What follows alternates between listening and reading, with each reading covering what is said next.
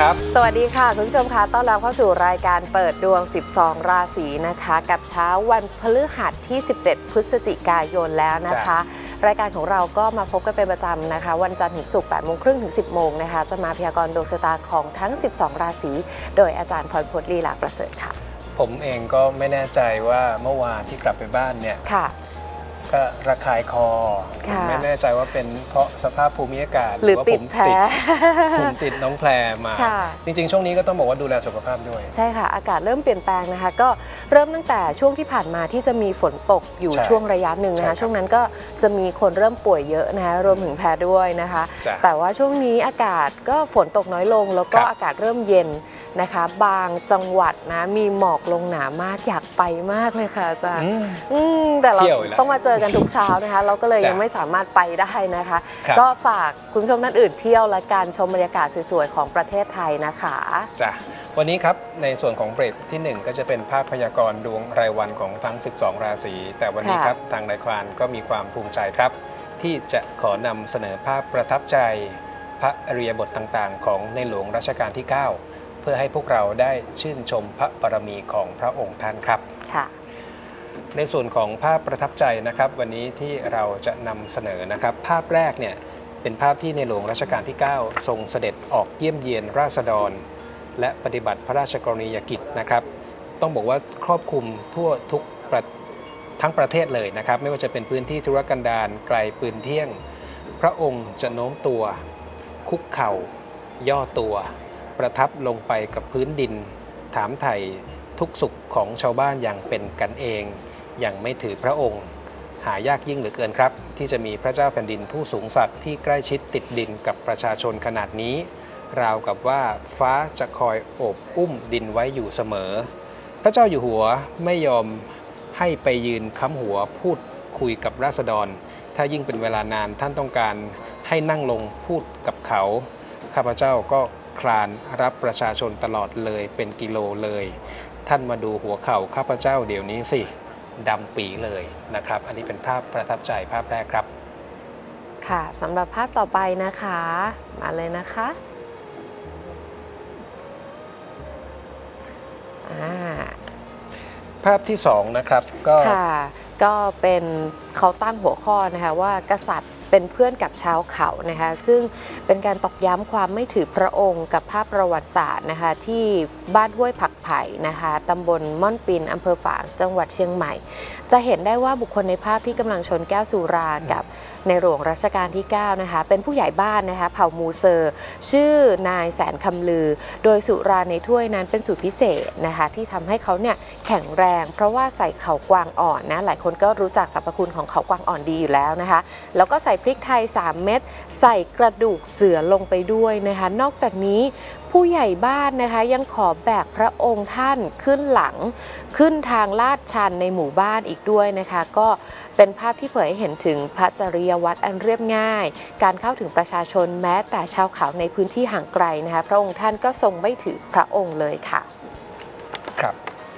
นะคะอันนี้ก็ 35 ปีก่อนนะคะ 7 กันยายน 2525 พระองค์ท่านก็ โอ้นะคะอืมอย่างที่เห็นในภาพเลยนะครับมากๆค่ะครับ ภาพต่อมานะครับเป็นภาพความประทับใจที่เห็นนะครับก็คือ เป็นรูปภาพเรือมดหรือเรือใบมดนะครับ เป็นเรือใบที่พระบาทสมเด็จพระเจ้าอยู่หัวนะครับในหลวงรัชกาลที่9เนี่ยทรงออกแบบและทรง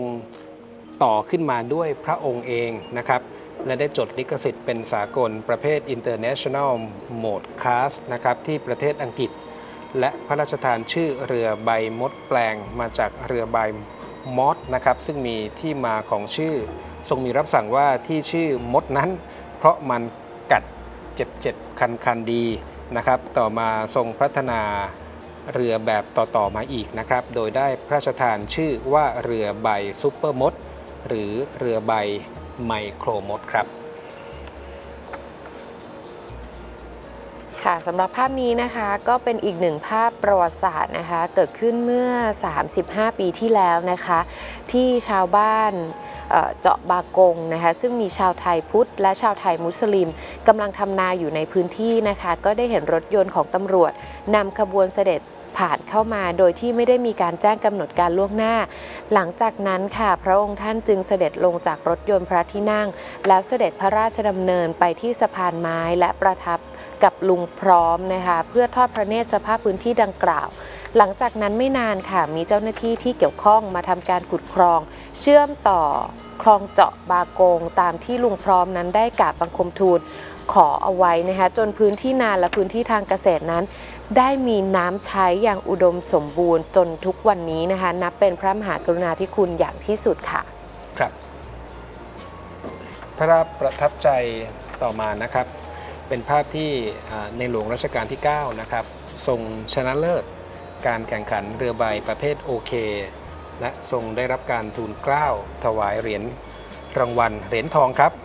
จากสมเด็จพระนางเจ้าสิริกิติ์พระบรมราชินีนาถเมื่อวันที่ 16 ธันวาคม ปีพุทธศักราช 2510 ซึ่งเป็นวันพิธีปิดการแข่งขันกีฬาแหลมทองครั้งที่ 4 ณ สนามสุขพัชราไสยสนามกีฬาแห่งชาติ ซึ่งชัยชนะครั้งนั้น พระองค์ยังมีพระราชกระแสรับสั่งอย่างน่าสนใจว่า การชนะการแข่งขันความจริงคือการชนะตนเองนั่นแหละ สะท้อนถึงปรัชญาลึกซึ้งที่ทรงตระหนักในเกมกีฬาทั้งหมด เป็นอีกหนึ่งในการตามรอยเบื้องพระยุคลบาทที่พระองค์ทรงอยากให้คนไทยมีกีฬาอยู่ในหัวใจครับ ภาพต่อมาครับที่เห็นก็คือเป็นภาพในหลวงรัชกาลที่9นะครับทรงเสด็จโรงถ่ายภาพยนตร์ฮอลลีวูดนะครับที่ประเทศสหรัฐอเมริกาครับ ต่อเนื่องนะครับ อันนี้เป็นภาพในหลวงรัชกาลที่9นะครับกับเจ้าฟ้าชายนะครับ ขณะยังทรงพระเยาว์สำหรับในหลวงรัชกาลที่9นะครับของพ่อหลวงของชาวไทยทุกคนเนี่ยพระองค์ท่านทรง ชอบถ่ายรูปมากที่สุดนะครับ ก็คงเป็นครอบครัวของพระองค์นะครับ ครอบครัวที่อบอุ่นในทุกครั้งที่เห็นเวลาดูข่าว หรือว่าสารคดีเกี่ยวกับพระองค์ท่าน นอกจากแผนที่นะครับก็จะมีกล้องถ่ายรูปนี่แหละ ที่เป็นของคู่กาย กล้องที่บันทึกภาพบุคคลอันเป็นที่รัก พระองค์ทรงเป็นคนโรแมนติกมาก ๆ จริง ๆ ทรงตัดเอาไว้นะครับว่ากับช่างภาพจากประเทศอังกฤษว่าที่พระองค์ท่านทรงชอบถ่ายภาพด้วยเพราะเองเองก็เพราะ เราไม่ค่อยชอบเวลาใครมาถ่ายภาพภรรยาของเรา เราจะรู้สึกหวงและอิจฉา บรรดาช่างภาพทั้งหลาย เพราะเราชอบถ่ายภาพพระราชินีด้วยตัวเราเอง และไม่เคยทิ้งรูปถ่ายของเธอแม้แต่สักภาพเดียว แม้ว่าจะมีบางภาพที่เราไม่ค่อยชอบก็ตามครับ ค่ะ ทั้งหมดนี้ก็เป็นภาพที่น่าประทับใจนะคะ บางภาพก็หาดูได้ยากนะคะ ซึ่ครังบแพรเชื่อว่าจะอยู่ในความทรงจำและอยู่ในใจของเราประสงค์นิกรชาวไทยตลอดไปค่ะครับสำหรับช่วงแรกในวันนี้นะคะอะเดี๋ยวแจ้งช่องทางกันก่อนนะคะจ้ะช่วงหน้าเราจะพูดคุยสายสดกันนะคะ ที่หมายเลขโทรศัพท์ 024960493 และ 024960494 ค่ะ SMS นะคะ สามารถพิมพ์และส่งเข้ามาได้เลยนะคะ พิมพ์ PD นะคะ ตามด้วยวันเดือนปีเกิดเวลาเกิด และข้อความที่ต้องการจะถาม ส่งมาที่หมายเลข 4221606 นะคะจ้ะช่วงแรกในวันนี้นะคะ เราไปฟังคำพยากรณ์ของทั้ง 12 ราศีกันเลยค่ะ พระรหัสบดีที่ 17 พฤศจิกายน 2559 ครับ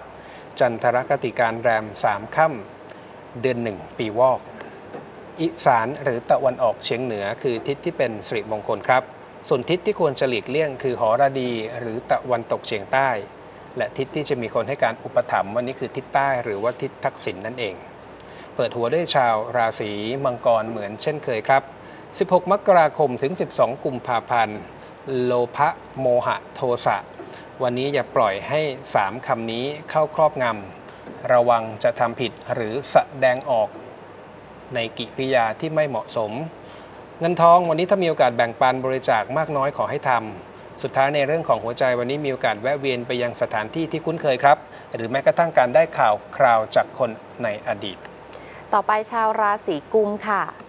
13 กุมภาพันธ์ถึง 13 มีนาคม วันนี้ไม่เหมาะกับการเจรจาเข้าหุ้นร่วมลงทุนนะครับหรือแม้กระทั่งคนที่ทำธุรกิจแบบมีหุ้นส่วนอยู่แล้วเนี่ยวันนี้ต้องถนอมน้ำใจกันเขาบ้างเราบ้าง เงินทองไม่มีดวงในเรื่องของการเสี่ยงโชคครับ การเงินวันนี้รับซ้ายจ่ายขวาของจริง ส่วนความรักหัวใจตัดสินใจอะไรวันนี้ถือว่าดีทั้งหมด ขอให้เชื่อมั่นในตัวเอง แต่วันนี้กลุ่มฝากระวังอุบัติเหตุครับต่อกันด้วยชาวราศีมีนค่ะ 14 มีนาคมถึง 12 เมษายน การทำงานวันนี้ไม่ว่าคุณทำธุรกิจหรือทำงานประจำพยายามกระชับนะครับ หรือว่าลดขั้นตอนการทำงานให้มากที่สุด เพราะวันนี้เขาบอกว่าวัดกันที่ความเร็วนะฮะสภาพคล่องโดยรวมยังไม่ได้รับผลกระทบติดขัดอะไรให้เข้าหาผู้หลักผู้ใหญ่ ความรักอย่าทำอะไรก็แล้วแต่วันนี้อย่าโลเล อย่าเปลี่ยนใจบ่อย ระวังมีปัญหากับคู่ครองครับ ต่อกันด้วยชาวราศีเมษค่ะ 13 เมษายนถึง 13 พฤษภาคม วันนี้พอจะมีโชคลาภในเรื่องของการทำงานทำอะไรก็ดูดีนะครับ โดยเฉพาะกับการริเริ่มทำภารกิจใหม่ ๆ ส่วนเงินทองยังมีศักยภาพในการหาสตุ้งสตังค์แม้จะเจอโจทย์ที่ยากหรือต้องใช้ความพยายามมากกว่าปกติ ความรักวันนี้เวลามีปัญหา อย่าเพิ่งรีบร้อนปรับความเข้าใจ รอให้ทุกอย่างเย็นลงก่อนครับ แล้วค่อยว่ากัน ต่อกันด้วยชาวราศีพฤษภค่ะ 14 พฤษภาคมถึง 13 มิถุนายนครับ วันนี้คนที่พยายามมานานอย่าเพิ่งท้อนะ ยังมีโอกาสได้เห็นแสงสว่างหรืออย่างน้อย วันนี้จะมีสัญญาณบางอย่างที่น่าพอใจ การเงินไม่เหมาะกับการคิดการใหญ่ครับ วันนี้หลายปัจจัยดูคลุมเครือไม่ชัดเจน โอกาสเข้าเนื้อมีสูง ความรักวันนี้คนมีคู่ทรงๆปานกลางเรื่อยๆ โสดเองก็ไม่เด่น ต่อกันด้วยชาวราศีเมถุนค่ะ 14 มิถุนายนถึง 14 กรกฎาคมครับ วันนี้ให้เผื่อเหลือเผื่อขาดไว้บ้าง โดยเฉพาะ การทำงานเป็นทีมเป็นหมู่คณะ จะมีเหตุปัจจัย ขออภัยครับ ในเรื่องของความล่าช้าติดขัดในส่วนของการประสานงานนะครับ สภาพคล่องวันนี้โดยรวมก็สอดคล้องกับเรื่องของงานอย่าวาดฝันนะครับ วันนี้หวังไว้ร้อยได้กลับมาไม่ถึงครึ่ง แต่กับคนรักวันนี้อยากได้อะไรให้ขอนะครับ ต่อกันด้วยชาวราศีกรกฎค่ะ 15 กรกฎาคมถึง 16 สิงหาคมครับ วันนี้ความอดทนสำคัญมาก มีเกณฑ์ตกอยู่ในสถานการณ์ที่ยากลำบาก หรือแม้กระทั่งวันนี้ปัญหาบางอย่างแก้ไม่ได้นะครับ ส่วนเงินเงินทองทองก็ล้อกับเรื่องของงาน มีโอกาสต้องใช้จ่ายแบบปัจจุบันทันด่วน การลงทุนวันนี้ก็มีโอกาสจะเกิดความพลิกผันเปลี่ยนแปลงสูง แม้กระทั่งเรื่องของความรักก็ไม่มีโชคลาภนะครับ อย่าหาเรื่องใส่ตัวดีที่สุด กรกฎวันนี้เป็นอีกหนึ่งราศีที่ต้องระวังในเรื่องของอุบัติเหตุ ต่อไปชาวราศีสิงค์ค่ะ 17 สิงหาคมถึง 16 กันยายนภาพรวมในส่วนของการทำงานวันนี้ผมทายดีนะครับ โดยเฉพาะคนที่มีลูกน้องบริวารเนี่ยวันนี้คุณไม่เหนื่อย การเงินการลงทุนถ้ามีโอกาสได้เข้าหุ้น ร่วมลงทุนวินวินนะครับ สมประโยชน์ สุดท้ายในเรื่องของความรัก ถ้าไม่ได้มีปัญหากับคนรัก วันนี้ทั้งตนเองและคนรักก็ต้องระวังอุบัติเหตุครับ ต่อกันด้วยชาวราศีกันค่ะ 17 กันยายนถึง 16 ตุลาคม งานของชาวราศีกันวันนี้ก่อนจะไปแข่งกับใคร ให้จัดการปัญหาภายในหน่วยงาน ภายในองค์กรให้ดีซะก่อน เตรียมกันก่อนฮะเงินทองขำไม่ออกมีแต่คนขอให้ช่วย แต่กลับกันตัวเองกลับไม่มีคนช่วย แต่ความรักหัวใจทายดี โดยเฉพาะคนที่อยู่ระหว่างศึกษาดูใจกับคนที่มีเชื้อสายต่างประเทศ ต่อไปชาวราศีตุลค่ะ 17 ตุลาคมถึง 15 พฤศจิกายนครับ วันนี้ในเรื่องของการการเงินถึงจะไม่ได้ดังใจอะแต่ผมอยากให้พึงพอใจในสิ่งที่มีให้มองคนที่เขายากลำบากกว่าเรา เพื่อนสนิทมีโอกาสเปลี่ยนแปลงสถานะมากกว่าคำว่าเพื่อน ผมหมายถึงความรักหัวใจ สุดท้ายในเรื่องของงานวันนี้ไม่จำเป็นต้องออกแรงเยอะหรือปรับเปลี่ยนอะไรมากกำกับดูแลทุกอย่างได้ ต่อกันด้วยชาวราศีพิจิกค่ะ 16 พฤศจิกายนถึง 15 ธันวาคมครับ ระวังมีปัญหาสุขภาพหรืออุบัติเหตุ เกิดขึ้นเนื่องจากการทำงานซึ่งเน้นอยู่เสมอแหละพวกของแหลมของมีคมเครื่องจักรอุปกรณ์นะครับ การลงทุนวันนี้ถ้าข้อมูลถึงผมอยากให้คุณเชื่อมั่นในตัวเอง แต่วันนี้เนี่ยไม่เหมาะกับการลงทุนที่ต้องแข่งกับเวลานะครับ ความรัก ทำไมต่าง หรือห่างกันมากจนเกินไป ก็มีโอกาสได้เริ่มนับหนึ่งอุบัติเหตุนะ ต้องระวัง และมีมาปิดท้ายกันที่ชาวราศีธนูค่ะ 16 ธันวาคมถึง 15 มกราคมครับ งานไม่ดีงานมีปัญหา ไม่ว่าทำธุรกิจหรือทำงานประจำวันนี้อาจจะต้องใช้เวลามากกว่าปกติ อาจจะเลิกงานช้านะครับ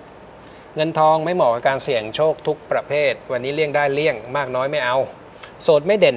คู่ที่กำลังมีปัญหาให้ปรึกษาผู้ใหญ่ค่ะ ทั้งหมดนี้เป็นคำพยากรณ์ของทั้ง 12 ราศีประจำวันนี้ค่ะ คุณผู้ชมเข้าไปดูกันเพิ่มเติมที่ Facebook นะคะ Miracle Channel TV นะคะจ้ะช่วงหน้ากลับมาพูดคุยกันนะคะ ที่หมายเลขโทรศัพท์ 02-496-0493 02-496-0494 ค่ะ SMS นะคะ พิมพ์ PD ตามด้วยวันเดือนปีเกิด เวลาเกิดและข้อความนะคะ ส่งมาที่หมายเลข 422-1606 พักก่อนสักครู่เดียวค่ะ ครับ